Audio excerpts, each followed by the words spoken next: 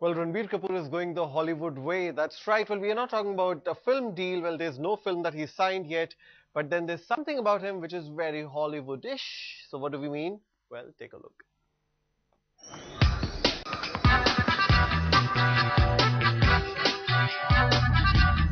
It was time for some cakes, carols and hoods for Ranbir Kapoor this Christmas.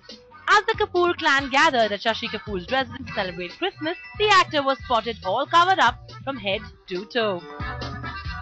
Sporting the hood, the actor tried his best to avoid the cameras, but our lenses zoomed in to his brand new look. Ranbir seems to have taken a liking to hoodies of late. From gym launches to airports, the actor sure is choosing comfort over fashion. But of course, Ranbir's new look reminds us of his contemporaries on the other side of the world. So is the actor going the Hollywood way or is he simply imitating the West? For now, it's Ranbir Kapoor all the way, keeping the Yuletide spirit high.